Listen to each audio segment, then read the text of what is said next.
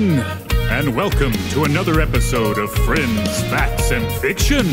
As always, this podcast is made possible by our local convenience stores, the misappropriation of history, and you.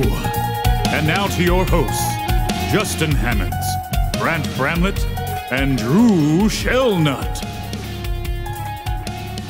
What's up? What's happening, world? It's a podcast called Friends, Facts, and Fiction, season five. Trying to thrive and stay alive. Yeah. Okay, okay. Episode 13. It's a little art heist. You know what I'm saying? A little Ocean's Eleven. little bitty one, A little EO 11. A little tiny saying? one. Yeah, If you know the OG Ocean's Eleven with the Rat Pack, you'll get that reference. yeah, yeah. But anyway, um, Yeah, I like that one because they didn't actually get away with it. Bro, I Well, like, they did, but What? Mm-mm. they didn't get it. They I, didn't get. I the- like that one because they filmed that in a time where like, how the fuck did you film that? You know That's what I mean? true. Like- Yeah. No, it's, it's a For great real, bro. classic movie. Yeah, it's honestly. fucking dope. The little scene with the garbage trucks and shit is like, bro, Mm-hmm. that's a legit stopping real traffic. Like you don't have a set. Yeah, Like, no. you're out here in like the shits, like for real. Uh, but anyway, um, yeah, man, we back with these hot facts. You know what I'm saying? I'm Justin Hammonds, looking at my boy Drew Shownut Yes, you are. and my boy Grant Bramley. Hello. And uh, yeah, we're talking about a little art heist today. Um, this wild, crazy, just madness. Uh, if you're privy to the greatest art heist in history, there's a documentary on Netflix about it. But we're gonna give you some funnies and some facts about it today. But how's everybody doing? Everybody good? Yeah. Yeah, yeah. Still hot, still tired, Yeah. nothing's changed. Still, hot, still tired? peeing yellow. yep. Well, there you go, man. You, you do what you gotta do, you know. It'd be Um, cool if I figured out how to actually hydrate right now, but you know it is what it Get you, is. get you this Biolyte up in your system, bro. I don't think you understand. I'm drinking like 12 of those, the equivalent of like 12 of those a Hey, day. do what you do. You know what I mean? You need to go to IV. You get your IV. Yeah, no, account. that's true. Or you just have one like while you're on the Yeah, seriously. Get you a portable Yeah. pack, just like on the on the joint. yeah, just tie the little IV bag stand to the back of the mower. Exactly. Are you okay, sir? Yeah, yeah, yeah. I'm good now. I'm great, actually. Better than you. Yeah, if, if, Go back uh, inside. It's hot out here. yeah, yeah. But if anything, for like everybody out there, stay hydrated, man. It's hot. Like it's like it's hot Mm-hmm. across the world. Like it's not that like a every section. And it's no, it's 100 degrees in Oklahoma like every day the past Yeah. like nine days. Yeah. When I was in Montana, it was like fucking 98 damn degrees in Montana. UK is on fire. You know what I mean? Like, Yeah, I just saw uh, wildfires 10 across the world. Like, 108 Jesus. for Washington State That's crazy. in a couple days. Up in like Pacific, Pacific Northwest. Yes. They're like gonna su- die. super Pacific Northwest. Yeah. That's real, bro. I think it's Yakima. They're not going to know what's going to happen. I don't No. think they have anything other than Patagonia out there, bro. I don't know. Mm-hmm. I don't know if they have T-shirts and shit out there, but uh, right. but, uh, you know, drop the top on a Subaru. You feel me? But See people out there with chainsaws. Subaru Nation up there, bro.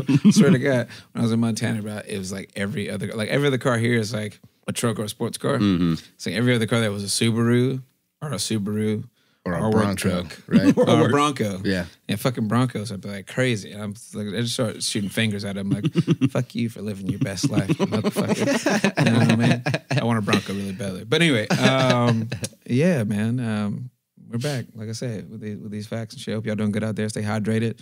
Um, you know, take some time off if you can. Holidays are coming. mm-hmm. You know, don't don't forget. Woosah. That's true. Yeah, we've covered that. That is a good idea to start thinking about fucking Christmas now. Yeah, I I guess. am telling you, bro, it, it comes quicker than you know. And it's always around July, August. You're like, oh, it's past a few months. yeah, we got six months. It's fine. yeah, it's fine. It's like, no, bro, you got like six weeks. Yeah. Yeah. like legit until it's like, oh shit, it's Halloween. Mm-hmm. you know what I mean? Like, fuck. But um, yeah. Anyway, keep your head on a swivel, man. But um, you got a song of the day of the week, my dude? I do actually. Uh, when I went out to Erie, Pennsylvania for our buddy's wedding, Kevin, that was on the episode, Yeah, the music theory episodes. huh? Music therapy episodes. music therapy episode. One of the tunes that we covered at uh, his rehearsal dinner was a song off of the album Ram by Paul McCartney. Oh, word. and I, it reminded me that that's probably my favorite uh, album that he's released solo. Solo? You know what I mean? yeah. It is just every single song is absolutely gorgeous. Um, but yeah. I wanted to call out my favorite tune on that album, which is Uncle Albert Admiral Halsey medley. As it's called, as it's entitled. That's a Paul McCartney hmm. title if I ever It heard one. really Jesus is because Christ. I absolutely love it. Mm-hmm. You know, it's got like the the British uh, dial tone in the middle of it to mm-hmm. like switch over the two like medleys, you know, or between one song to the other song in the medley itself or whatever. Yeah. But just that little that he does. the, it's the like, Paul McCartney shit. yeah, I just love it. I don't know. It's I'll never forget it's forget. beautiful and it makes you happy, Yeah. makes you smile, makes you dance, makes you ponder. Bro. He Mm. he figured something out. you know, because he was basically the mastermind. He figured something out. with He those- sure did. Boys. I'll never forget when uh, he did a song with Kanye like years ago, and all the young cats were like, "Who's this white dude, bro?" and I'm like, "What? Who's the black dude, dude? Like, what the fuck, fuck are you talking about? It's fucking Paul McCartney, you fucking jackass! Like, what the shit? Like And when that's Missy Elliott did the Super Bowl halftime show. It's like, That's what I'm saying. who was this? I'm like, Who was the old guy playing Bitch. piano? He was pretty cool. It's like, okay, walk away from me right now. Yes. Just, please. like, bro, like Jesus Christ. Um, but yeah, that's what's up. Check that song out. Um, Mr. What did you say? What's the name of it? Oh, Man, I gotta look it up again. It's it's recorded. Uncle Albert, uh, Admiral Halsey medley. Ah, is the check- full title Hey, check that joint. But it's on Ram. Just listen to the whole damn album, and then you'll hear the root doo doo part of that song. You'll be like, oh, that's one Grant. And, and, and there you go. and there you go. The root the doo doo joint. You know what I mean? Turn up. Yeah. But um, yeah, we get to these hot facts, man. Uh, you know, get relaxed. You know what I'm saying? Or, or, you know, get aware if you're driving. Get relaxed if you're chilling. You know what I'm saying? Take a sip, take a drag, whatever you're doing. All right, let's do it. Cool. Uh, just wanted to say real quick. Obviously, Justin already mentioned it in the intro that you know Netflix does have a docu series on it. That's what you know. Um, put it on my radar. I was like, this shit is fucking bonkers. They did a great job, but I did find some extra shit and a little article that kind of pseudo reviews it or whatever. But what's Mm-hmm. incredibly neat to me is that it's still ongoing. So I'm it's- going to end this found, podcast to, to just a few months ago. It's a complete mystery. And we're going to be starting on April 14th, 1840. Oh, wow. A woman by the name of Isabella Stewart Gardner was born to a wealthy linen merchant and his wife in Boston, Massachusetts. While growing up, she was constantly exposed to the finer things in life, you know, fine art, music, that fancy kind, though, you know what I mean? and dance, also the fancy kind of dance, you know, with all like the tippy toe people. Mm-hmm. Ba- Ballroom. Mhm. No, no, ballet is what I'm talking about. There. Oh, ballet. Mm-hmm. oh, oh, ballet. Then she mm-hmm. attended an American school in Paris and traveled around Europe, falling in love with the worlds of the Italian, I'm sorry, the works of the Italian Renaissance. She returned to New York in 1858 and then settled back home to Boston shortly after that. In 1860, Isabella married one of Boston's most eligible bachelors, John Lowell Gardner Jr. The couple had one son who died from pneumonia at just two years old. In 1866, Gardner suffered a miscarriage and was told by doctors that she would never be able to bear children. Wow. Heartbroken, uh, Gardner withdrew from society and became increasingly ill. Her doctors suggested that a trip to Europe could improve her health. So Isabella and Better Jack air out there. It's better Yeah, air. sure. and Jack boarded a ship to Paris. Boom. By the way, must be fucking nice. I mean, Yeah. Jesus. Oh, I, I mean, I feel terrible for her. That sucks. But like, Yeah. No, bro. This Come sounds on. this sounds like this sounds like an Instagram model this day and age. Like, oh yeah, Right. I'm in Paris, back to New York. Yeah. I wish I was back. Take me back. yeah. So, This but bitch is on ships, by the way. Like this ain't no quick trip. No. this Oh, is like know. a fucking week on the sea. Yeah. Like Yeah. That's crazy. Anyway. But Paris apparently had a profound influence on Isabella's health. And as her mood began to improve, she eagerly returned home to Boston to establish herself as a fashionable socialite. Following the death of her father in 1891, Gardner used her inheritance to begin her fine art collection. One of her first acquisitions was Vermeer's The Concert, which is uh, one of the most valuable paintings like to this day. I think it's like 250 million or something like that. turn up. Uh-huh. Gardner traveled to Venice, Paris, and throughout Asia and the Middle East, searching for more works to add to her impressive collection. In all, the Gardner collection contained 70 pieces of fine art hmm. by some of Europe's most renowned artists. So she just went to Europe and was like, "Hey, appreciate y'all culture. I'm gonna take this a with me. little bit of a shopping spree. I'm gonna take this Yeah. with me, mm-hmm. though. All right. Yeah. Mm-hmm. With priceless works like Botticelli's Madonna and Child with an Angel or Rembrandt's self portrait at age 23 and uh, Titian's Rape of Europa. Mm. which is an insanely valuable piece. Soon the Gardners' collection had outgrown their home in Boston's Back Bay. Following the death of her husband in 1898, Isabella decided to pursue her dream of opening a museum to host her collection, quote, for the education and enjoyment of the public forever. Forever, ever. Now, this stunning museum building is inspired by a 15th century Venetian palace. It includes a garden courtyard surrounded by glass, three floors of gallery space basically surrounding that. So you walk in this huge open Venetian garden. And like with live plants, like tall, tall Yeah, bro. fucking trees, and just this massive skylight, like an and in- then just indoor room- arboretum. you know, rooms around that, and then the upstairs rooms around that, rooms around that, upstairs, all four floors. That's it's crazy. fucking insane. I actually really, really want to go. That Rainforest Cafe, bro. Um, so it's three floors of gallery space and a music room, all carefully designed to display Gardner's collection in her own eclectic way. It doesn't feel like a fine art museum. Yeah. It feels like this really badass building with a bunch of cool shit in it. And then mm-hmm. you walk up, like, oh, that's a nice piece. And you go, oh my God, that's a fucking Rembrandt. You know? Mm-hmm. yeah, right.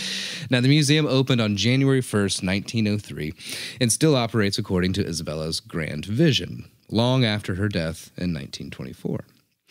But by the 1980s, the museum was running low on funds. The financial strain left the museum in poor condition. It lacked a climate control system and an insurance policy, Oh, wow. Which is going to be a big deal a little bit later, and was in need of basic building maintenance. Dude, at one point, a second story sewage line broke and leaked into a first floor gallery. Oh no. Damn. Apparently, all the art was unharmed, but could you fucking imagine just shit water like Yeah. around a hundred million dollar painting? Apparently, it, because of the climate control issue, the garden courtyard would sometimes um, accumulate so much moisture during storms that indoor rain clouds would form, and they would actually rain. It would inside rain would happen sometimes. That's fucking wild. And just on a regularly humid day, which it's Boston, it's a Bay Area, Yeah. of course it's common, Yeah. you could actually see some of these paintings sweat. Oh no. Like That's so water uh, and a four, five, six hundred year old painting, they don't go together very well. those, those, those, those, those snobby, snobby art people are having a heart attack right now. I mean, seriously, man. Crazy. Uh, so, you know, obviously it's not in the best of shape. Now, to make matters worse, the FBI uncovered a plot by Boston criminal, criminals to rob the museum in 1982, forcing the museum to allocate funds to improve security. Among these improvements were 60 infrared motion detectors and a closed circuit television system consisting of only four cameras placed around the building's perimeter, the exterior perimeter. All right. Four, and that's so, it. So blind spots heard. Yeah. Ah, f- a couple, yeah, a couple. I mean, just a few. Just a Uh, few. now there were no cameras installed inside because the board of trustees thought installing such equipment in this historical building would be too expensive. That's stupid. It does sound stupid, especially to us in retrospect. But mm-hmm. you have to imagine running electricity and hardwired lines for the system was probably an atrocious amount at the time. Also, in the 80s, yes, just by expensive. in the shit. 1980s, and this building was built in the 1890s. Like I can see where they're coming from. And then also on top wire of and it- big ass cameras. Um, basically. her big thing was to not disturb or change her museum in any way and she actually put in her will that if it was changed too much and that and too much was to be decided by the board of trustees that she would donate its entirety to Yale Oh wow. I'm sorry Harvard because I was in Boston yeah yeah, Harvard sorry uh, I didn't actually write that down I just not remembered it um, she was she would just Well- donate all of it to Harvard so they were like really worried Mm-hmm. about like what's the line to cross here Yeah, yeah. so is it security cameras inside maybe you know also, also, the rich just staying rich. Just give that to Harvard. i know right i know It Yeah. and also on top of it there's another thing i was listening to earlier today apparently the board of trustees were like the wealth like members of the wealthiest families in boston. And they thought hosting um like charitable events were seen as like gauche or begging.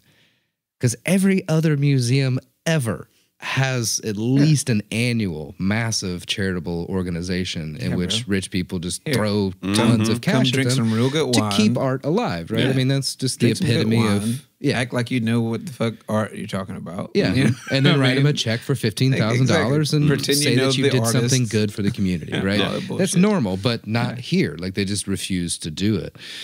But at least more security guards were hired, which I'll talk about that a little later. But despite these minor security improvements, the only way police could be summoned to the museum was with one single button at the front security desk. Oh hell yeah, bro!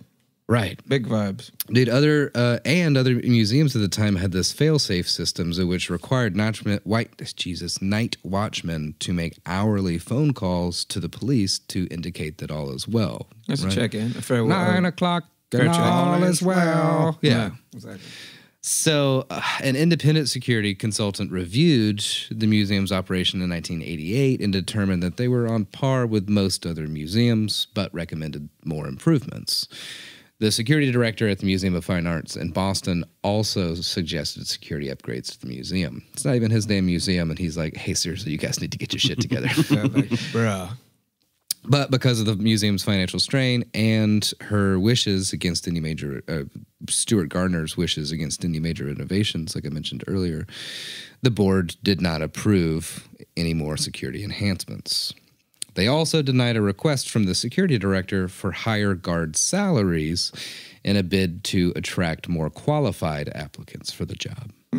The current guards were paid slightly above minimum wage That's fun. And the security flaws of the museum were not were a open secret amongst all the guards. So you got a bunch of kids basically Underpaid or kids. burnouts or mm-hmm. people that don't give a fuck about anything else hmm. because they're just going to do something easy for a little bit of money to get by. Mm-hmm. You basically So- just sit there. Exactly, yeah. But I mm-hmm. mean imagine them drinking a little too much at a bar one night and loudly talking about how garbage the security is at this oh, amazing yeah, right. art museum. At this hundreds of millions of dollars, Yeah. basically open vault Right. to the world. yeah. Craziness. So Fucking wild. the robbery that was inevitable occurred in the early hours of Sunday, March 18th, 1990. Well, it's a couple months for me. Excuse me.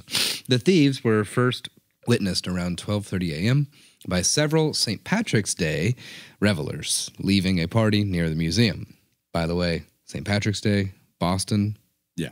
genius time It- to oh, pull off really a big is. ass job. Yeah, bro. I mean, come on. 12:30 a.m. every Boston, cop St. in the city Day. is distracted Mm-hmm. or drunk, and every citizen of that city is very drunk. Mm-hmm. Fucking genius.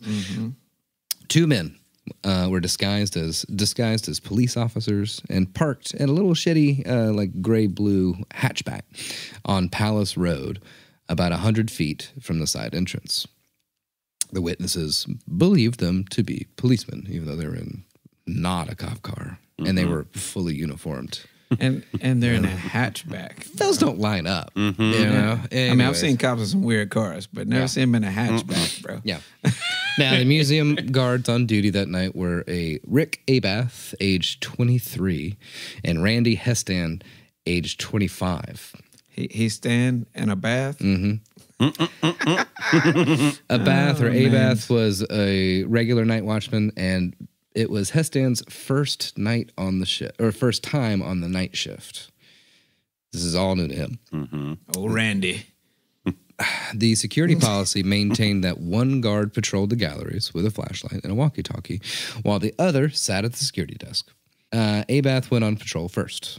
During his patrol, fire alarms sounded off in different rooms in the museum, but he could not locate any fire or smoke, and they just kept happening. So he returned to the security room with the fire alarm control panel, indicated smoke in multiple rooms.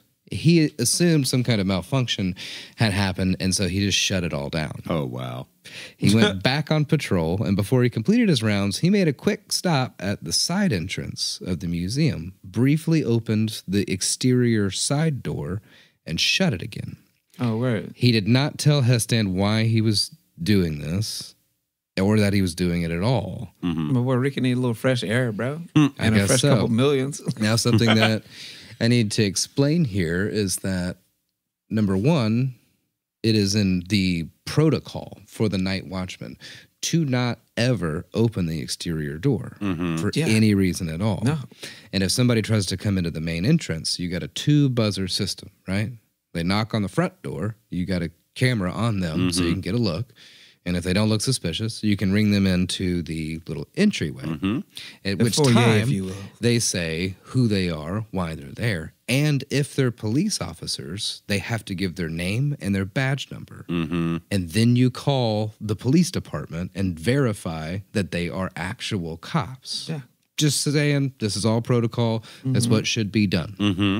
Man, I just I was with the homies back then, bro. I'd be straight right now. Hmm. Now, Abath completed his tour and returned to the security desk around 1 a.m., at which point Hestand began his rounds.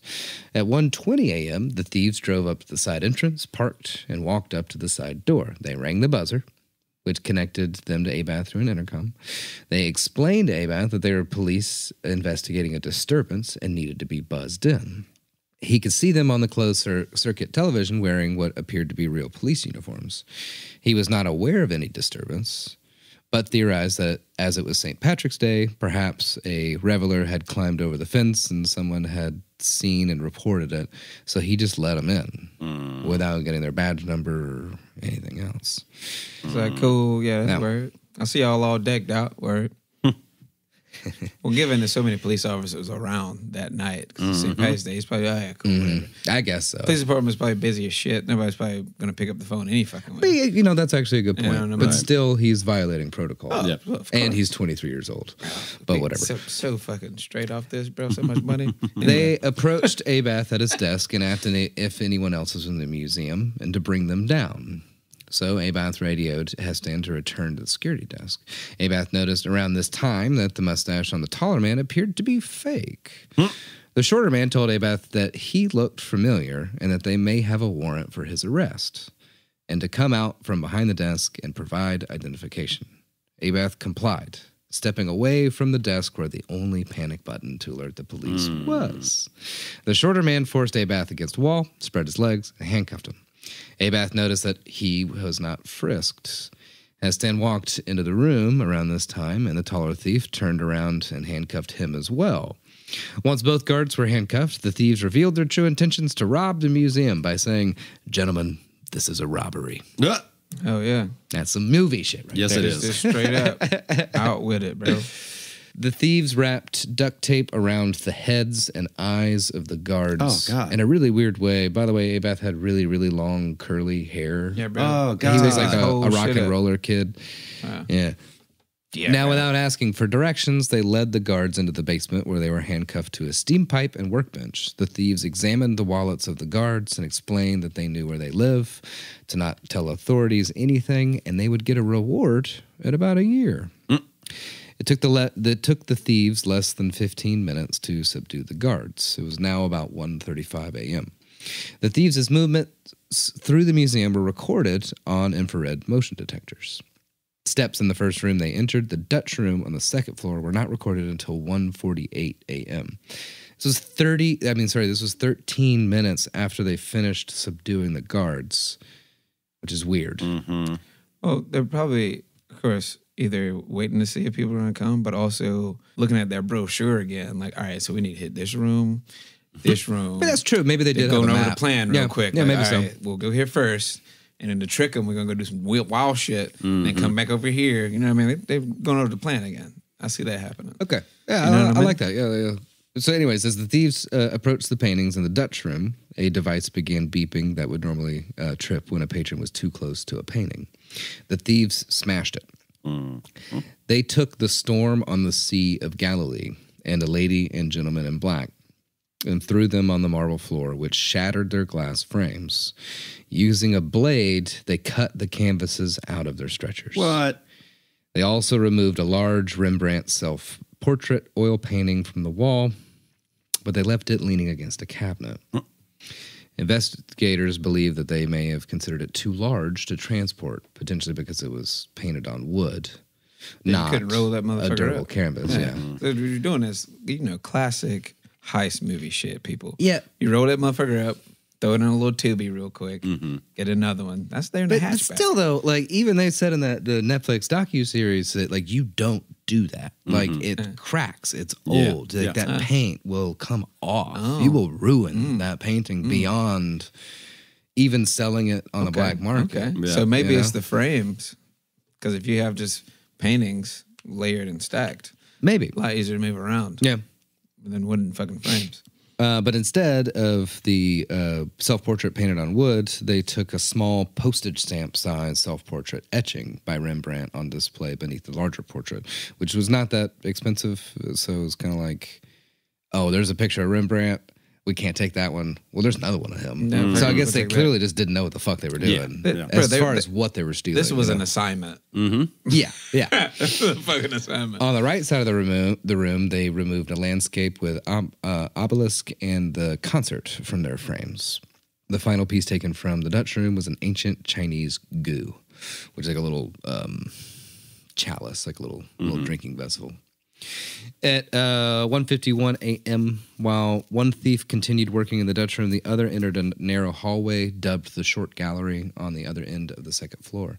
The other thief joined in there soon. In this room, they began removing screws for a frame displaying a Napoleonic flag, likely an effort to steal the flag, of course. But they appeared to have given up partway through as not all the screws were removed, and ultimately only took the exposed eagle uh, finial atop, Top the of flagpole. the flagpole, Yeah. which also was not worth that much money. But They also took five uh, Degas sketches from the room. The last work uh, stolen was a uh, Chez Tortoni from the Blue Room on the first floor. The museum's motion detector did not detect any motion within the Blue Room during the thieves' time in the building. The only footsteps detected in the room that night were Abath's during the two times he passed through the gallery on his patrol earlier, which is odd. Yeah, that is odd. my boy, out It might be. Who my boy Ricky. knows? Hmm? Ricky. As they prepared to leave, the thieves checked on the guards one last time and asked if they were comfortable. They then moved the security director's office, moved to the security director's office where they took the video cassettes that recorded their entrance on the uh, closed circuit cameras and the data printouts from the motion detecting equipment. The movement da- uh, data was still captured on a hard drive, though, which remained untouched, which probably means they didn't know it was there. They knew all that other shit was there, Of course. but not that. You think it's the 80s, bro? Or Yeah. the 90s, actually. Now, the frame for the Chez Tortoni was left at the security uh, director's desk, which seems like a pretty strong middle finger to me, but you know, whatever. It's like, hey, bitch, look at this. Uh-huh. Look you know where this came from, did. Yeah. The thieves then moved to take the artwork out of the museum. The side entrance doors were opened once at 2:40 a.m. and again for the last time at 2:45 a.m. The robbery lasted 81 minutes. That's a long fucking time. Bro, Yeah, they, took, they took their time, bro. Yeah. Man, that is either confidence or cockiness. They may have been confident because they knew that they were fine, or they were cocky as hell. No, 'cause they, they, were they, they were confident at first, and then they got cocky later on, I feel like. With the whole like leaving the frame and like just taking a little dumb shit for no reason. yeah, that's You a good what I point. mean? Yeah, Like- no, I like that. Fuck it. Yeah. Take this too. Fuck it. I'll take that too, bitch. Mm-hmm. Now, the next shift of guards arrived later in the morning and realized something was amiss when they could not establish contact with any, anyone inside to be let in. They called in the security director, who, upon entering the building with his keys, found nobody at the watch desk and called the police. The police searched the building until they finally found the guards still tied up in the basement. What if they had like soiled themselves or anything by that oh, point? Because bro. that was a long time just chilling. They chilling. probably were. Or you got yeah. duct tape on your head. Yeah. And you just handcuffed to a pipe. Yeah. Don't know if mm-hmm. you're gonna get shot later. Right. that's some that's some real come to Jesus moment right Yeah. there, boy. What's a little poop in your pants? Mm-hmm. That is a little bit of poop in your pants. At least some PPs. All in all, 13 works were stolen. In 1990, the FBI estimated the value of the haul at $200 million. Mm. And that has estimate has been raised to $500 million That was- that was by the year 1990, so- 2000. Yeah. In the late 2000s, some art dealers suggest the haul could be worth about $600 million. It was considered the highest value muse- museum robbery in history until it was surpassed by the Dresden Green Vault burglary in 2019. Oh yeah, that shit was lit right there. Oh, that's boy. crazy. I went to um, a Dresden art festival where they brought the art from the Dresden Museum and we got to see all kinds of stuff when I went to go see Oh, um, cool. A Perfect Circle in Jackson, Mississippi. Oh shit. And so Corey and I went to the the concert and then we went to the Dresden Art Gallery Yeah, stuff. yeah. And we still got like stuff from that. Wow. That's wild. I didn't know they were Yeah, bro. robbed in Yeah. 2019. Yeah, they got that shit hit, bro. Whoa. Yeah, bro. That's a wild story. But anyway, Now, the most valuable works uh, were taken from the Dutch Room. Among these were the concert by the Dutch painter Vermeer. Uh, he was 1632 to 1675 was when he was alive, which he only uh, painted 34 paintings, they think. Oh. And so the painting accounts for half of the hall's value, estimated at $250 million in 2015. that's crazy. Experts believe it may be the most valuable stolen object in the world. Oof. In the same room, the thieves targeted works by Dutch painter Rembrandt. Uh, these included The Storm on the Sea of Galilee, Galilee, which is his only seascape he's ever done. And it's fucking gorgeous. And it's the most valuable of his works. So Um, beautiful. And it was stolen that night. Estimates have placed its value at about 140 million since that robbery. The other Rembrandt works were taken uh, were a lady and gentleman in black and a small postage stamp size self portrait etching, like I said earlier. The latter was previously stolen and returned in 1970, actually. the thieves may have taken a landscape with uh, obelisk, believing it was a Rembrandt. It was long attributed to him until it was quietly credited to his pupil, uh, Govaert Flinck, uh, a few le- years before the actual heist. Oh, so maybe they were just going after Rembrandts. You know, maybe Yeah. That's what it sounds who like. they mostly. wanted was his stuff. Who knows? The last item taken from the Dutch room was a bronze gu about 10 inches uh, tall, traditionally used for serving wine in ancient China. The beaker was one of the oldest works in the museum, dating back to the Shang dynasty in the 12th century BC. Ooh, we, But covered, we covered that once. Its hmm. estimated value is only several thousand dollars. Only several thousand. Only several. But That's still, if you're talking about 250 million to, I don't know, Yeah. 12,000. I mean, Like, come on. Also, bro, 12th century BC fucking chalice. That's fucking badass. hmm That seems like a, like, I'm, I'm, this is for my cabinet. Mm-hmm. Yeah, You know what I mean? It's like, hey, you, you know where I got this cup, bro? I only drink whiskey out of this. yeah, yeah. Mm-hmm. It's like, hey man, check out this cool cup I got. Oh, dude, check out this cool gold needle I got. You know? That's that's that's a stuff thing. That's not our collection. It's like, look at my stuff. yeah, yeah, yeah. Not my collection. You know what I'm saying? It's a difference. Now, in the short gallery, five sketches by the French artist Edgar Degas were stolen. Uh, but they're each done on paper and less than a square foot in size and made by pencils with inks, washes, and charcoal. They're of relatively little value compared with the other works that were stolen, worth under $100,000 combined. Also taken was that imperial uh, eagle finial, you know, from the flag. There is a one hundred thousand dollar reward for information leading to the return of just that finial alone. Yeah. That's crazy. Uh, again, I think that's just them taking stuff, or maybe they thought it was solid gold, and they were like, "Well, we can melt that down and keep it for ourselves." Who knows? You know what I mean?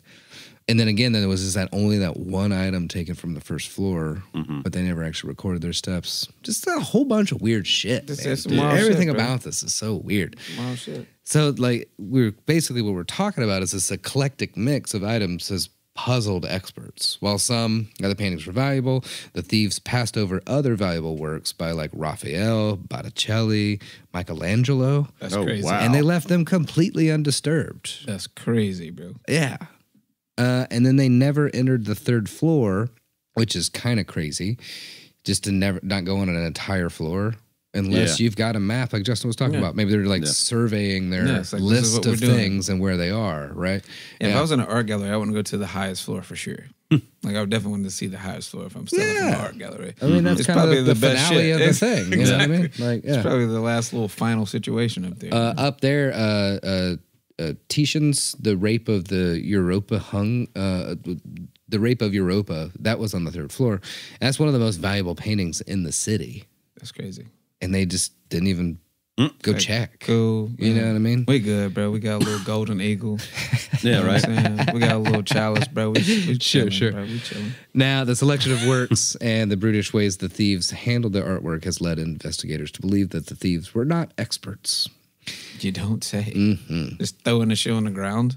now, this is kind of crazy. As uh, Gardner's will decreed nothing in her collection should be moved, the empty frames for the stolen paintings remain hanging in their respective locations Whoa. in the museum as placeholders for their potential return. Wow.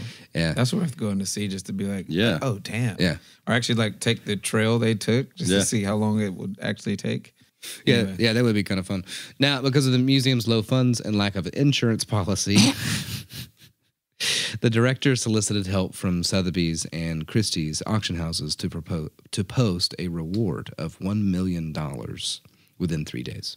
This was increased to five million dollars in 1997, Seven years later. and in 2017 it was doubled to 10 million dollars, mm. with an expiration date set for the end of 2017. This reward was extended following an outpouring tips, uh, uh, an outpouring of tips from the public. It is the largest bounty ever offered by a private institution. The reward is for information that leads directly to the recovery of all of their items in good condition. Federal prosecutors have stated that anyone who willingly returns the items will not be prosecuted. Now, the most important aspect of that so, if anybody out there does actually know anything, mm-hmm. the feds can't do anything anymore. Yeah. They will lie to you, they, They will, will. happily lie to you. Oh, yeah. But the statute of limitations expired in 1995. So you can hmm. just, hey, so bro, I've been, take it. Yeah. If I've you want chilling. ten million dollars, like you know, please bring it back to them. Yeah, they legally cannot charge you with the shit. Yeah, they can't be prosecuted. Wow. It's crazy. That's insane. so, um, that Netflix documentary and just a whole bunch of new shit has come out or whatever. So that's that's the robbery that happened, and then this is just a whole bunch of new shit, right? The feds now think that the two robbers were uh, George Reissfelder and Lenny DeMuzio, both of whom died within a year of the heist. Oh shit. The two men belonged to the crew of local criminal Carmelo Merloni. Ah, I'm sorry, Merlino, who was first mentioned in connection with the 25 year old robbery way back in 1992. That's some uh, Italian mafia shit, bro. Reissfelder and DeMuzio have also been suspects in the case for many years, but their role in the burglary is only now being confirmed.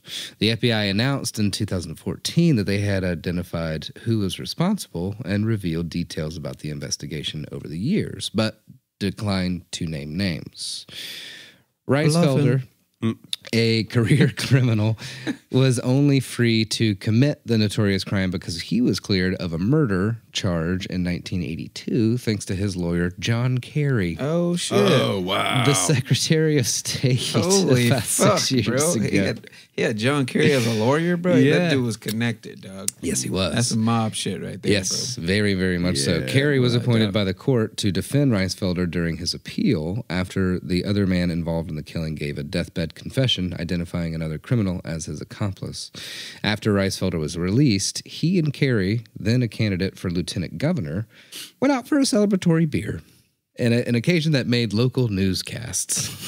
Yeah, he just walking around with his uh, his client about to go party. It's like, Yeah, dog. that's the son of like somebody that's paying you money. I mean, come on. I get it. I get it, bro. You you apparently get appointed by the court. Bullshit. And then you go have a beer with the guy. Nah. Like lawyers don't do that. You know what I mean? Nah, bro. They were butts. I remember I was there when he was born. You know, uh, love the kid. He's a good kid. You know, Yeah. yeah. I couldn't see him doing anything like this. Uh, know his father. We have business Yeah. deals. All that type of bullshit. So bro. before long, though, uh, Reissfelder was back to his criminal ways, including the Gardner job. Kerry, of course, stayed on the straight and narrow because he had, you know, politics, typical politic. Merlino arranged the now infamous heist, possibly at the behest of another unknown party, in which Reissfelder and DeMuzio dressed as Boston police officers in order to trick the night watchman into letting them in. Yes, less than a year later, uh, Reissfelder died from a very suspicious drug overdose. Oh, yeah. And DeMuzio was murdered and uh, probably because uh, Merlino discovered a like a planned clue, uh, coup that he was leading or whatever. But Demuzio was shot, decapitated, and put in the trunk of his own car. That's fun. Yeah. Stabbed himself in the back three, three times and threw himself over a bridge. Yeah, that- that sounds like uh, sounds like the old Iceman, yeah. like the real Iceman. Go check that motherfucker. Right. Out. Anyway, Now, the, the paintings, of course, were never recovered, and Merlino died in 2005 from diabetes. The hunt for the paintings from the Isabella Stewart Gardner heist continues. The investigators also said that they suspected the art was transported via organized crime networks to Connecticut and then eventually the Philadelphia region you don't say. where the Right. thieves attempted to sell the works on the black market. After those attempts, after those attempted sales, however, the artwork trail goes cold. Apparently, Whitey Bulger's involved in that. Oh, Whitey- shit. It's kind of been debunked, and so I didn't put it in here. I'm wouldn't Yeah. be surprised. Whitey Bulger was involved with a lot of shit, bro. Yeah. Hmm. like a Yeah. bunch of wild shit, like CIA testing and all that other wild shit. Oh, that's true. The Yeah. MK Ultra, bro. Mm-hmm. Whitey Yeah. Bulger Yeah. was involved in that shit. Of course, he was. Yeah. I just went to Europe with the shits, bro. Like just sell them back to Europe, mm-hmm. Like, if I right? could- Hey, you remember the Take him homie? back to Italy. Yeah, that's what I'm saying. That's what I'm saying. You remember the homie that used to be out here like in the 1800s? I got one of his pictures, bro. Like that shit crazy, right? Listen, all I need is like a villa on the side of a mountain. Yeah. Don't tell nobody my address. Yeah. you know what I mean. I know. Just send me all the fresh noodles and pasta Right. daily. You know, and the freshest olive of oil. wine. exactly. You know, I'm good. One of them Sicilian gals with Gucci. You know what I'm saying? Now, authorities, uh, and myself included, were initially suspicious of the two young guards on duty that night. Abath, a self described hippie and rock guitarist, uh, was a regular on the night shift. Because of art crime uh, uh, uh, of this nature typically require an inside source, he was high on the list of possible conspirators. Yeah, the motherfucker that opened the back door. For no reason at Yeah. all, Oh, oh, according Ricky to him. And he self-described himself as a hippie and a rock, st- Yeah. like a rock guitarist. There's nothing that says "think for yourself, question authority" more than what that is. Exactly. Also, he had put in his two weeks notice that night or that day before his shift, and he was going to a Grateful Con- Dead concert the very next night. Oh yeah, my boy was ready. Yeah, He's like, yeah, word. man. He But- had nitrous money. Yes, he all did. of a sudden, you know. Hey, on Shakedown Street, like, bro, let me get a whole zip from you, bro. yeah, right. I don't I only get ounces sometimes. I mean, I only get like joints sometimes. I need a whole zip, bro. yeah. Give me a book of L, bro. And if you don't know what a zip is, you're not ready. Yeah. uh, now, Abath, for his part, has long denied any role in the heist, and authorities have generally cleared him as a person of interest. When he took a like a, an interview with uh, uh, Tom Mashberg from the New York Times in 2015, he said, "I was just this hippie guy who wasn't hurting anything. I wasn't on anybody's radar, and the next day, I was on everybody's radar for the largest art art heist in history." You, you don't say, Ricky. Yeah. Why'd you open the door, Ricky? Huh? And another wrinkle, Abath's role in the drama once again came under scrutiny in 2015 when the United States uh, Attorney's Office in Massachusetts released a rare security camera video. The grainy footage shows Abath, who was on guard during the day of March 17th, opened the same side doors used by the thieves and admitted an unidentified man in a waist length coat and an upturned collar. Hmm. So uh, he p- was either being suspicious just on the point of being suspicious, or he knew that fucking camera was there, and so he had his collar turned up against it. You know what I mean? You know, And that's some straight gangster shit too. That pop collar. That is very Well, true. that- that's, it sounds like Ricky. This is my theory already before we even end. My theory is Ricky owes some fucking drug money to the mob, and he was buying it from this dude's son. Maybe. And dude's dad was like, "Oh, they got a bunch of paintings over there. He owe us like a grand. Let's get two hundred million. You mm-hmm. know what I mean? Like, you feel me? Like Yeah. that's the line of Yep. of shit I'm saying. But you know, that's just me. Uh, as the Guardian reports, dozens of theories ranging from conspiratorial, uh, conspiratorial to credible have cropped up over the years. Most people, including the FBI, argue that the works traveled through organized crime networks in Boston, namely the mob. The Netflix documentary we mentioned several times now, entitled "This Is a Robbery," is less interested in who done it and more interested in tracking where the paintings might have ended up. The narrative centers on Bobby Donati, a mobster who may have organized the theft with fellow criminal Robert or Bobby. I think it's Guarente, Guarente, I think. Guarente. Yeah, in order to Bobby use and Bobby. the art as a bargaining chip to get their friend Vincent Ferrara out of jail. Hmm. Yeah, so it's hard. Like, imagine trying to sell a Rembrandt. Oh yeah. Yeah. It's next to impossible, right? So and what stay they under the radar at that. exactly. Well, no, just like I was at this yard sale, bro. Just, psh, motherfucker just had it in the back. I don't. It's a Rembrandt. You know who that is? I just thought it looked cool. He was just like, anyways, "Yeah, this is a Rembrandt," and I was like, "No, I don't remember that at all." yeah, remember that? I don't remember shit. I don't know what you I talking ain't, about. I ain't remembering that. I'm No. telling I ain't remember you that. Go, you go down on 10th over there. He had a little garage sale last Saturday. He had some gu- guitars out there too. You know what I mean? Uh, nigga just had a picture. couple coconuts with faces on them. You know, I thought I was, gonna take it to the thrift store, but then they told me you might want it. So, you know, oh man, that shit is crazy, bro. Oh. So another former mobster. Um, oh, I'm sorry, I'm skipping ahead around here. What was uh, what did I say? He's trying to get his homie out of jail. Yeah, yeah. So know? both Donati and uh, Guarente are now dead. So we Of course. we'll never know. yeah, of course they are. Yeah. Now- Yeah, Bo- Bobby and Bobby got hit. man. Yeah. yeah, that's, that's a Well, actually, my hand. uh, Donati was mysterious death. Now Guarente, he died of uh, cancer as a older man. oh. But uh, his friend, another former mobster, Robert Gentile, has long maintained his innocence despite a bevy of evidence pointing to his involvement in the crime. Uh, the octogenarian was released from prison in 2019 after serving 54 months on an unrelated charge. He was selling Roxy's. Uh, He had prescriptions to him because he was an old man, Yeah. and just turning around and selling them. Yeah, of course.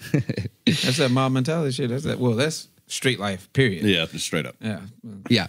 Straight up. So, uh, actually, to Gentile, and then we'll we'll kind of finish it up or whatever. But a, um, I was listening to this podcast and I found a little more that could be connected to all this. So apparently, Guarente uh, met up with his buddy Gentile for lunch one day. It was a double date, right? So his- their wives were there, and Guarente's wife recalled the two men looking in their trunk at some tubes. Like poster tubes. Uh, He gave these tubes to Gentile. Now, the feds learned of this trunk deal in 2010 and started watching Gentile to make a mistake. In 2012, he was taken in for selling oxys and some other narcotics. He was in his 70s, so they figured he would give up the information so he could stay out of jail for the end of his life, right? Of course. yeah. Uh, But he only agreed to a polygraph, which he failed every single question of. Yeah. So, I'm old, man. I'm old. He submitted to say that he's only seen the small Rembrandt self portrait, the one that was stolen and then returned, and that's the only one he's seen. I don't know. Sounds a little fishy to me. Yeah. I didn't see anything else. They Yeah. just showed me the little bitty stamp, Yeah, bro. yeah, yeah. Like, Yeah. because that's the, somebody's gonna carry that one around by itself. Because you, that's what you brag about. Like, Yeah, right? You know, when you Yeah. steal something. Uh, I don't know, Not yeah, the man. two hundred and fifty million dollar one. Man, I got this toenail off the floor. like, I don't care what you say. The, the 12th century chalice, bro. I'm showing that to everybody. Oh, bro. Hey, hey, hey, psh, you know, it's a little something special made thousands of years ago. But Anyway. that, uh, that wasn't enough for the feds, so they locked him up, like I said. Unfortunately, his daughter died during that time while he was in jail. But the feds also searched his home and found a newspaper clipping that had all of the prices listed for each piece stolen. Oh. He's sitting there, it's like, yeah, can't wait to get my Uh-huh. 15 mil out this shit, boy. I know my 15 mil somewhere out this 600. and Gentile's son told the feds about a false floor in a work shed in their backyard. Uh-uh. When they searched that, they found a large space with an empty plastic bin inside. And old Junior also recounted a story from years prior when a big storm had caused their backyard and the shed to flood. Gentile flipped out. Junior had never seen him so upset. So, was he just embarrassed that he ruined all these timeless and priceless pieces of art? Holy art? shit. Uh, maybe- Holy shit. No, honestly, know. maybe um, let's think about real quick street street knowledge, real quick. Tap in. so, if you try to bury money or put money anywhere subterranean level, you have to make sure that it's properly aired out, Or sealed, yeah. Yeah. sealed, because it will mm-hmm. get moldy. Oh, yeah. And if it gets wet, and it's still wrapped up or whatever, not properly sealed, it's gonna get moldy. You're gonna ruin all that fucking money. Right. You know what I mean? I know mm-hmm. some no names, but I know some people that Yeah. have lost But see, that's, thousands and thousands. that was kind of my thought It too. was like money got moldy and you can't fix that shit. Like No, you can't. sticking together and ripping and shit. And like, if you're yeah. talking about 12th century paintings yeah. right. or 12th century anything, Bro, mo- or money, even money, 100 dollar bills, years old. money, fucking old paintings, any type of canvas, Man, paper, yeah. anything like that, it's gonna get moldy as shit if you don't seal it properly. Right. So, So, it was either money or it was paintings. and I don't know. and I'd have been fucking hot if it was money. uh, yeah. But I mean, let's say that he did do that, and somehow he didn't know any better. But I mean, come on, he's a pro. He should have known better. yeah, no, that's what I'm saying. It's probably money. Probably. That's what I'm thinking. Yeah. Well, those paintings are money. Because the paintings, you can't keep those paintings stationary, bro. That's way too hot. Yeah. And this shit's got to be moving every Right. week, probably. Yeah. Yeah, that's You know that's I mean? probably Yeah, true. yeah. Honestly. See, I'm giving too much of my criminal mind. So Yeah. either way, oh, shut- shut up, Just now once once Gentile got out of jail, he did reach out to a reporter saying he knew something about the Gardner case. But he didn't real, reveal any more of that and only used his time with the interviewer to rail on the FBI and saying that they ruined his life. of course. Oh wow. yeah. the reporter couldn't get anything else out of him. It's like I was supposed to be somewhere in Peru for the rest of my fucking life. yeah. So how do you feel about this? Fuck the FBI. Yeah. But um, for real though, no, fuck the FBI. Yeah. At the same time, who knows? I could have been doing it for the fucking FBI. You know what I mean? Who knows? Well, with close uh, with their close ties to the mafia back then. that's what. I'm saying, bro. You never know what's going on out here in this world. Yeah. Now the um, back to uh, the Netflix uh, documentary. Um, they had a, also another theory that included uh, members of the IRA or the Irish Republic Army Oh, yeah, that were the somehow involved. And I think it's probably only because the IRA before had used like really massively valuable pieces of art as leverage, you know, to get someone And they were out. and they were you know? red hot in the fucking 80s and 90s. That's Yeah. when they were like out here with it for real. But that seems, I mean, it's possible. Of course it's possible. But it seems a little bit of a stretch to me. But you It's know, a whatever. stretch for sure, bro. But they have also another of your days best. They also interviewed this dude, Miles Connor Jr. I fucking love this guy. So he is this convicted art thief who was he was in jail at the time of this particular robbery, but he has like done broad daylight like smash and grab art heists before. He also broke into Oh, yeah, this like dude, private uh, mansion in like Boston's wealthiest neighborhood and stole like hundreds of thousands of dollars of, of paintings before. Bro, like he he's is still alive, a fucking G. He is still alive. he is out of jail, and apparently he's got a kid like in the mob that took a reporter to this warehouse in Brooklyn one time and Disappeared her. and then showed him this uh, apparently one of the Rembrandts that was stolen from the Gardner thing. That was apparently Miles Connor Jr.'s shed, they searched that shed and there's nothing in there anymore. you know what I mean? Like, bro. He's, he's- he's like one of those old, like, uh, like the last breed of like, I truly don't give a shit yeah, about society at all. right. And in that documentary, he's just sitting in his fucking yard full of shit, like collectors or whatever, pack rap type bullshit. And it's like, yeah, I remember that. I seen it. Like, you just seen it, bro? Like, what else? Yeah. Like, what the fuck? So that's funny. I, I read it. It's I forgot that we were this week's was on the heart, art heist because of life, and um, Sure. and it wasn't my episode, so I forgot. That's just how the world works. Yeah. But um, I did read this um, article about 142, and I had to just pull it up again because I couldn't remember. 142 looted artifacts returned to Italy after New York investigation. Oh, wow. And it was this dude uh and he i mean he had some fresco paintings and all kinds of like um but it was a hedge fund uh billionaire and collector named uh michael steinhardt Yeah. and he just kind of uh, acquire shit, and it's like, oh, how did I acquire? it? I don't know. I just had it. Hmm. Yeah.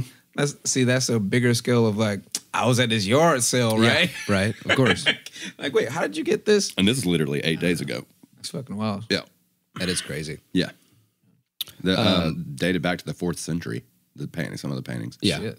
yeah But uh, uh, Miles Connor Jr. He did at the very least like provide like really essential context about how the underground art market operated during the 1990s, primarily in Boston. You know what I mean? So, if nothing else, just fucking fell in love with that guy because like Jesus, what a G. Mm-hmm. And Straight up G, bro, for real. and he also Like, did give them. I mean, it was because he's like just chilling in a chair, just like I mean, it's like by a tree, like in a yard, in don't a you get it? chair, just Yeah, like, like, like, come on, like it's Yeah. pretty obvious that this or that or that mm-hmm. happened. Like, you know, Yeah. it, it just I felt like he was explaining something that just seems so obvious to Yeah. him. Yeah, yeah. Uh, because it's his world, you know. Yeah, Of course, right. But still, it's it's like Um, a mechanic explaining to a regular person how to change a oil. Oh yeah, Yeah. right. Like you, you know, you just Come on, man. You, You just, fuck it. all all right. right, Yeah. fuck it. Just get, it, get out the way. Here's a fun quote from the the director of that docuseries. Uh, Researching the case was like learning the game of chess.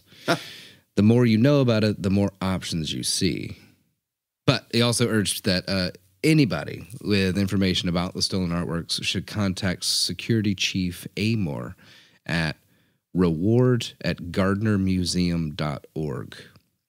And reminder, the museum is offering a $10 million reward to anyone who provides information leading directly to the safe return of the stolen works. And they legally cannot do anything to They you. cannot do anything but give you the money. Eh, other than that, Yeah, the baby. individuals whose information leads to the restitution of some, but not all, of the works will receive a partial reward. Anyone who helps return the Napoleonic Eagle fin- finial will receive a separate $100,000 reward. Yeah, man. I'm people- just saying, if you're like grandpa, like just you found something in his house Yeah. when he died, you know he was connected to the Boston Mafia, Cash and there's a in, bro. random golden eagle sitting in your cabinet, Yeah. go get the hundred grand. Yeah. you know? yeah, yeah. and, and, you know you can always support us at uh, friends. Yeah, right. Seriously. You know, whenever you do, just hit us up. You know what I mean? Yeah, please. Straight up, we out here. We out here with it. Oh man, that's awesome. Yeah, Friends, Facts, and Fiction Struggle Bus. Yeah. Hit us I ain't up. thugging. But but isn't that fun? Yeah, That's fucking wild. that's bro. awesome. It is just like the most, and I mean, I, I really highly do recommend that docu series just because it's the most fucking Boston thing you'll ever watch. Yeah. like there's a dude sitting at a bar, thickest Boston accent ever, you know. Oh, and, yeah, and, and he's just hilarious. You know, he's like, It's that Boston that's almost Irish. Yeah. Like, Yeah, like Boston Oh, hardcore, yeah. violent culture out here. Yeah, bro. And you're like, what? I don't want to sound like no highfalutin kind of guy or nothing, but you know that kind of shit. And he's just sipping whiskey, bro. Mm-hmm. Like I'm talking about a glass of whiskey, just chilling. And then like the one of the FBI agents that is involved in the case several times, I swear, several times she's like, "But that's just Boston." And I'm like, "You just talked about these dudes that killed these other people and put them in a trunk because they probably stole this hu- bro. like hundreds of million dollars of art to work as leverage against their boss or their buddy's boss to get them out of jail." Say, "That's just Boston," you know. That's my life. And he, you know, always, Wah wah wee. Yeah, like, right. dude, seriously? it trips me out. it's like crazy. documentaries like that, and also like documentaries like mafia shit, and interview like these ex mafia cats or like you know these dudes are affiliated with mafia, and the way they talk about shit, I'm like, oh word, go go go, yeah, we just you know we put up broad daylight, we dump like six clips, you know what I mean? It just happens sometimes. word, bro. It just happens sometimes. Just like them, just like them gang documentaries where you know Mm-hmm. drive by and shit. I'm like, phew, word, bro. Like, hey, you know, word. Like, I need you on my team when the shit go down, bro. right? You know what I'm saying? But I thought it was just um, one a very very fun story. Two, I love the fact that we got to start that long ago and it's still technically Still going. ongoing. You know, and then three, you know, like with the um, like prohibition stuff, like this is a direct result. Like this is a direct consequence of us trying to make America a little safer, or more realistically, a bunch of religious home housewives got really pissed off with their husbands drinking too much, and then they unintentionally started.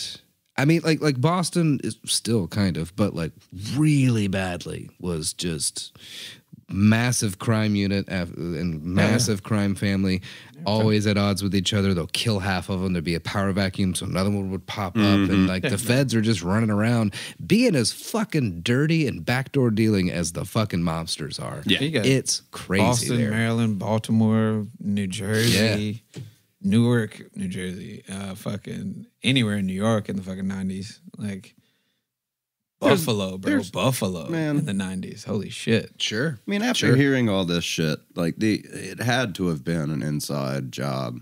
As Ricky! far as hey Ricky, oh Ricky didn't take a bath. My boy Uh, Ricky. but uh, it had to have been not and and an inside job coordinated from the outside, you know. And Oh, it seems 100%. it seems to me. I mean, yeah, it could have been mob involvement and everything. Obviously, well, with probably the deaths was. involved, that's definitely mob influence. but also I'm kind of leaning pretty hard on like uh like FBI kind of involvement kind of shit because why with all of the technology that we have now Mm-hmm. is this still a mystery? Right. Come on, meow. you know, I mean, Yeah. You should be able to have if these people I mean, you're probably true. Like some these- hands got greased. if these people that stole this shit had their hands on this stuff and weren't wearing gloves, we have DNA technology Mm-hmm. that if they thought it was them, they could match it up and figure that out. Yeah. but that just hasn't come out. Well, apparently in that docu series, and I didn't mention it here, um, there were some pretty crucial things that got bungled pretty hard by the local PD. Mm. Like right after, like they came in, they found the guards, like they threw away the duct tape. What? Yeah, See, oh, yeah. inside job, Accidentally? inside job, baby. All right, oh, bro, That's what I'm sticking That's with. when you're like, so how much your mortgage a year? I got you.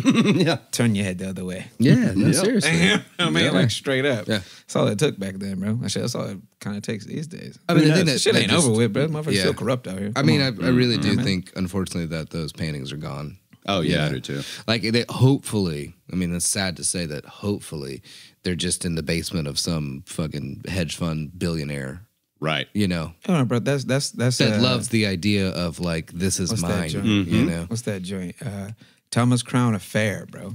Know Oh, that yeah. movie? Yeah. Some shit like that, where it's like, this is my lake house or my beach house in Mexico, and I got these crazy ass paintings in here, Yeah. bro. I, I don't remember where that came from. Low, low key, it's probably a fucking Rembrandt. You know what I mean? Like, Sure. it's like that, bro. Like, you- these people move in different circles, dog. There's a whole nother don't hear, don't see, don't speak. You feel me? Take that with you. Yeah. Also, I had a weird thing happen. We were in the middle of that episode. It uh, something popped up on my screen that said your webinar vlog has ended. What? webinar? Anyway, Who knows? I'm gonna slide up out of there. Hey, we need to stop talking about this. Maybe. No. I think I think we reached our limit on the. Uh, Yeah, they were like, oh, these kids don't know shit. These Never kids, mind. and then they, and they pull out like something about FBI. And the webinar has ended. that's what I said. I think we Drew gets to go to jail. Then we lost our number on the fun bun investigators uh, words. Anyway, uh, yeah, man. Um, the R heist that is still a mystery to this day. The great R one of the greatest. You know, Ocean Eleven shit. Hot facts. Um, hope y'all doing good out there. Remember, you can support us at friends period dot facts dot fiction at gmail.com. Email us there. Anchor.fm backslash friends facts and fiction. You can support us there. You can subscribe to us there. Uh, give us that five star review. Give us that thumbs up. Give us that I don't know, Instagram follow, DM me or whatever. We out here. You know what I'm saying? Stay involved, stay in tuned. Um, yeah, man. I love y'all. Justin Hammonds. I'm saying love, live life because it's worth living, y'all. I'm Drew Shellnut. I'm saying listen to the full episode. cool. Do people not? Some listener retention. Uh, That's okay. okay. That's okay. I You mean, guys know. love you. Love you all to death. Yeah. Thank you so much for listening. And um, that was kind of a joke, kind of a jab. but, uh, and I stand behind uh, both of those 100%. Sure. But, um, yeah, no. Thank you so much for uh, tuning into our depraved podcast that we provide you. but, uh, yeah, man. Love you guys. Bang, bang. Grant Bramlett here. Um, to everybody, anybody out there, have you ever took a priceless piece of art, smashed it on the ground, and then cut that bitch out of its frame with a with a goddamn razor blade? I never liked you at all. Like that's a, I will stand behind that statement big time. Now, if you ever uh, find out that somebody did something like that, and then you turn them in, or at least find the, the art back to its rightful home so it can be enjoyed by the public, or if you returned it back to its rightful country, Right.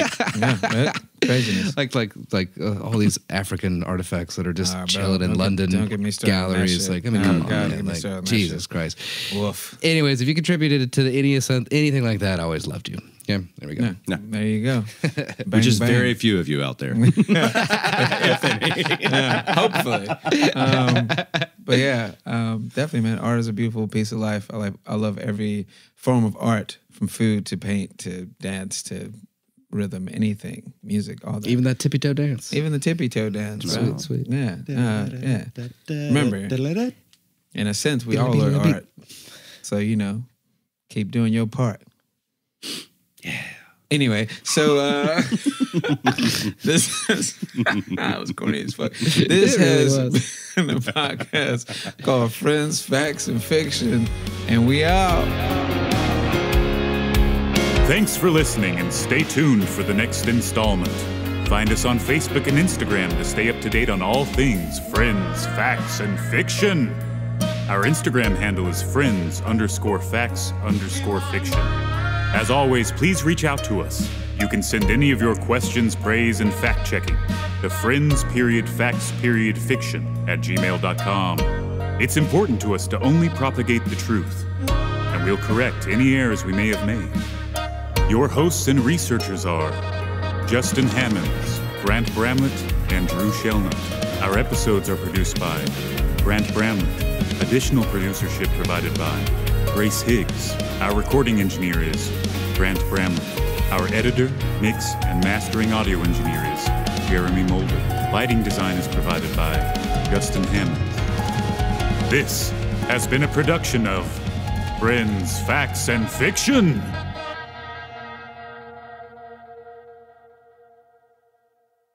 We're trying to French kiss. Why?